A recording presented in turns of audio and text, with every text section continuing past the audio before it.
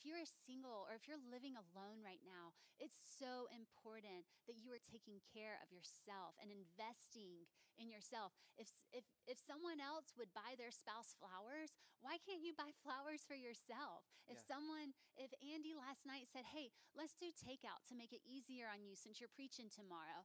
Hey, if, if my husband would do that for me, why can't you do that for yourself? You take care of you because if you can take care of yourself, then you'll be able to better love and take care of others.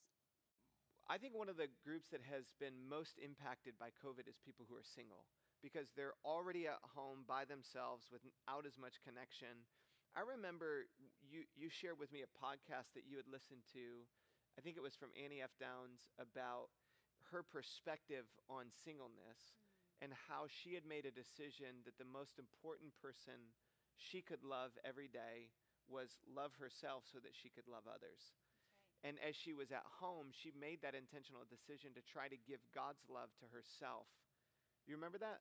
Yeah, that was a really powerful interview.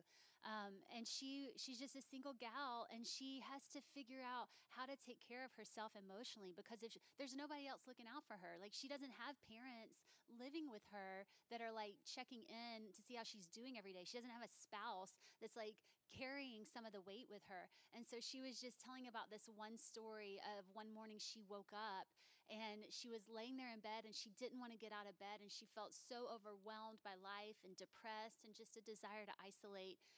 And then she said she said she put her hand on her chest and she just said she started talking to herself. She said, "Okay, Annie, I know you don't feel like getting out of bed right now. Why don't you feel like getting out of bed?"